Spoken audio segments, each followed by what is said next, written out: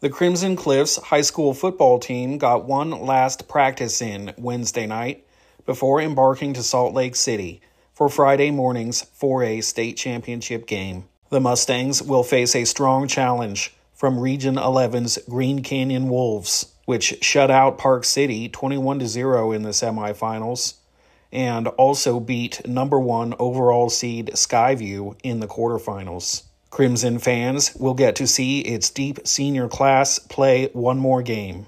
This time for all the marbles. Here's head coach Wayne Alofapo talking to those seniors. Love you guys. One last ride, right? One last ride.